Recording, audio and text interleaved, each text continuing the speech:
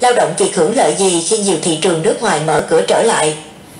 Tiếp sau Đài Loan, Nhật Bản đang có kế hoạch mở cửa đón người nhập cảnh, lao động từ các nước trở lại. Đây là tin vui đối với nhiều du học sinh, thực tập sinh Việt Nam.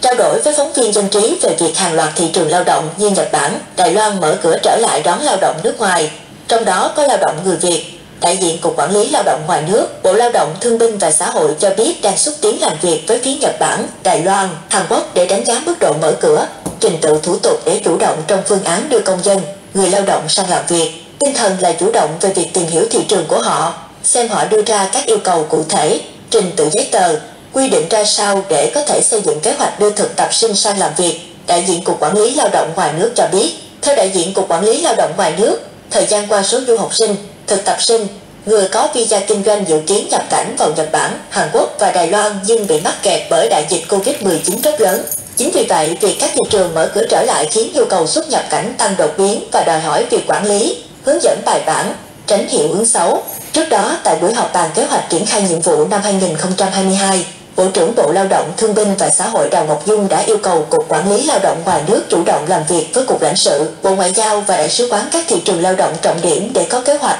lộ trình đưa người đi lao động tại nước ngoài, ổn định tâm lý của người dân. Được biết, đầu tháng 2 năm 2022, Trung tâm Chỉ huy Dịch tễ Đài Loan TECC đã thông báo tiến hành nới lỏng các quy định khắc khe về nhập cảnh do Covid-19 trước đây áp dụng cho lao động từ Việt Nam, Indonesia, Thái Lan và Philippines từ ngày 15 tháng 2. Theo đó, người lao động trước khi đến Đài Loan, Trung Quốc làm việc phải được tiêm đủ các liều vaccine COVID-19, có giấy chứng nhận tiêm chủng và tải mẫu giấy này lên web của Cơ quan Lao động Đài Loan. Thị trường lao động này vẫn yêu cầu lao động cách ly 14 ngày, sau đó người lao động phải tự theo dõi sức khỏe 7 ngày tiếp theo mới được phép đến nơi làm việc. Còn theo báo chí Nhật Bản, chính phủ nước này đã đưa ra kế hoạch đón người nhập cảnh vào nước này từ cuối tháng 2 năm 2022 trong đó chủ yếu là người có visa kinh doanh ngắn hạn và du học sinh tự túc sắp kết thúc khóa học, cần dự lệ tốt nghiệp. Số lượng người nhập cảnh giai đoạn này được giới hạn 1.000 người ngày, sau đó sẽ tăng dần theo từng giai đoạn. Đến đầu tháng 3 năm 2022, khiến Nhật Bản sẽ gỡ bỏ đồng loạt đối với người nhập cảnh có các visa như thực tập sinh,